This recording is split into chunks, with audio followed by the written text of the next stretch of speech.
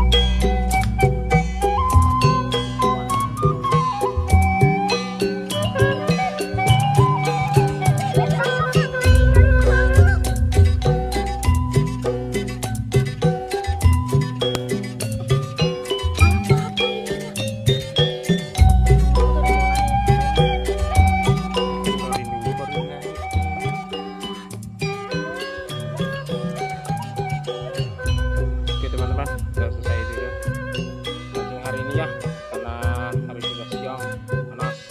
Nah ini dapat teman teman ini wader tapi dapat dapat lais juga teman-teman. Kecil sayangnya laisnya kecil-kecil teman-teman. Teman-teman. Terima kasih sudah menonton. Jangan lupa ya like comment dan subscribe. Yuk kita selesaikan saja teman-teman. Salam dari Jabi Kaltim